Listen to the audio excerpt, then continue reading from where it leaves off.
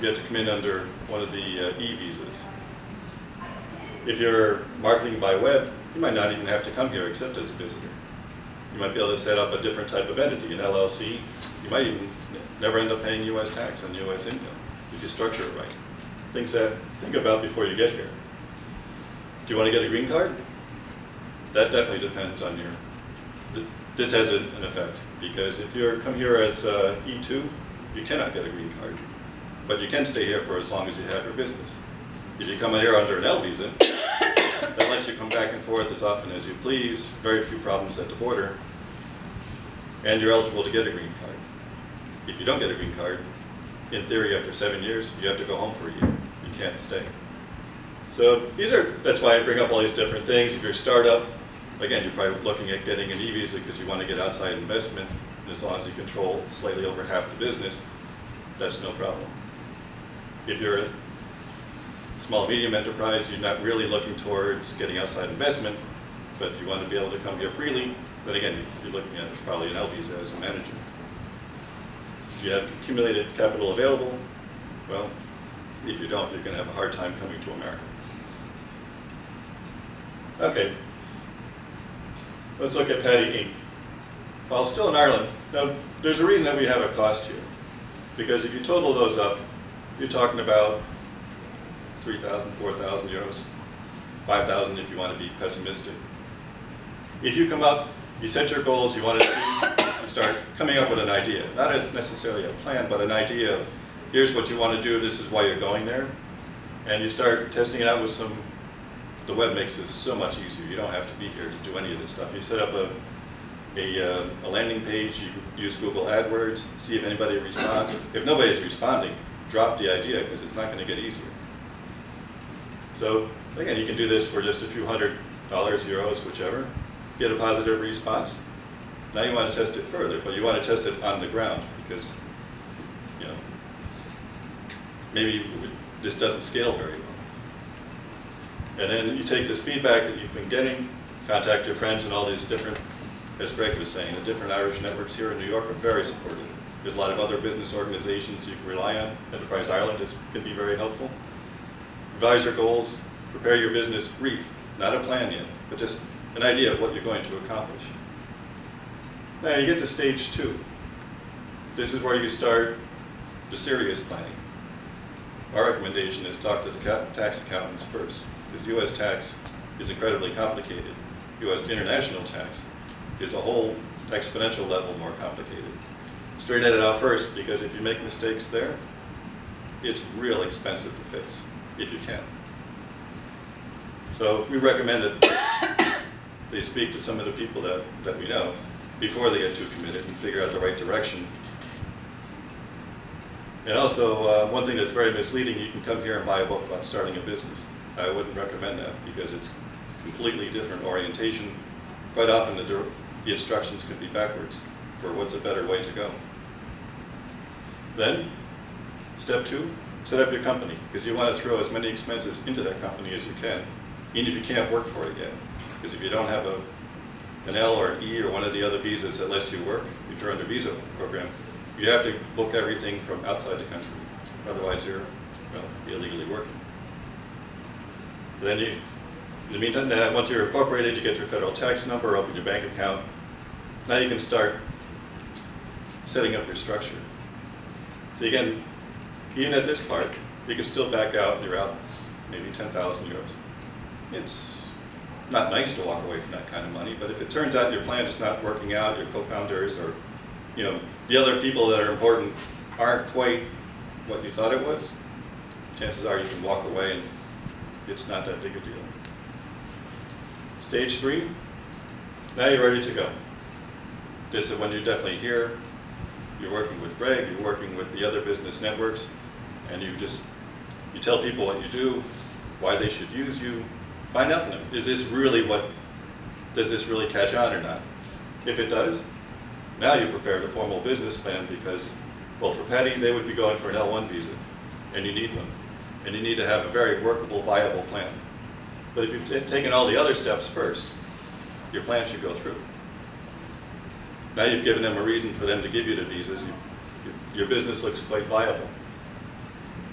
Once you've, once you're sure you've gotten this far, then you can go through the, the far more expensive things of getting an office, hiring staff, and promoting yourself, and adding value. One of the trick, one of the uh, traps of the L visa is that the first year, you have to prove you've added value to your company as a manager, or else they can refuse you on the second time. The first year is kind of a probation. So what you want to do is make sure that you've added value. Your renewal should go through, and then after that, they renew you for two years, another couple of times.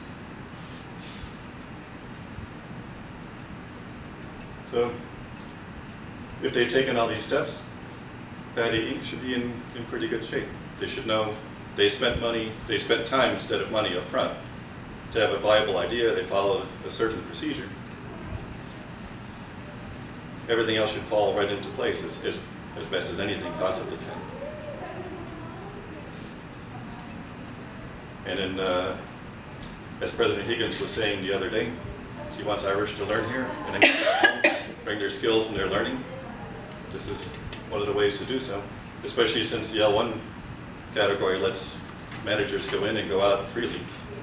There's other, there's other restrictions on different types of visas and how often you can come over, uh, what in- intent you seem to have.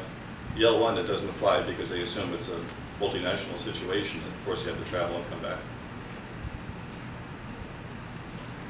So, Satish, he's an entrepreneur. His company has not been around for long enough to even vaguely qualify for an L visa. So, if he wants to come here, his best choice is likely to be an E2. Because as an investor, the minimum is relatively low compared to other categories. I've heard as low as 25, but 50 I think is more, thousand US dollars is more realistic. Now, as an entrepreneur, if he's thinking about getting outside in professional investment, from, especially from venture capitalists, that's where you should be spending a little time in advance to learn how the U.S. legal system works, because it's confusing to many Americans. It's totally baffling to a lot of our non-U.S. friends that how the whole thing would, why would you do in Delaware, or what's this about? Can I do business in other states? That would take a lot more than the 10 minutes that I have here. If you want to get professional investment, the, the short version of it is you want to go to Delaware and then register in each state that you'll actually do business. If Satish is coming here to New York because he's involved in the fashion industry, then he would set up in Delaware and then register his business to, to do business, register his company to do business here in New York. Once you've registered, got everything done, much like Patty Inc., you would then get your tax number, which opens things up to let you get your bank account, get an office. And once, again, as long as he's tested his idea and made sure it's viable in the earlier steps, now he can go for an E2 and prepare the formal business plan. And again, once he's tested all these ideas and has an idea of this is where we are, this is where we're going to go, he'll have a far more realistic business plan. And again, with anything involving immigration authorities, you gotta document everything when it comes to tax people, make sure you document everything. And one of the key things here with tax is the same thing that goes for the uh, professional investment. You want a corporation. It's very complicated to set up a, an LLC and make it work. So now Satish got all his paperwork done. Now he's doing pitch events. That's something that's in the, the main entrepreneurial centers of, of the US. You see it a lot in New York, you see it a lot in Boston, you see it a lot in Silicon Valley, now in places like Austin, where you can go, there's events pretty much, I would say, definitely weekly, sometimes every night. You can go to a different organization. One thing is I left off in my own, I, I had the uh, Columbia Business School Alumni Club's VC and Entrepreneurship Committee. We run events and uh, we cooperate with other groups. It's, it's pretty much almost nightly. Some group is offering a chance to go out, pitch your idea to different investors. There's all different levels of investors here in, in, in New York or Boston or Silicon Valley.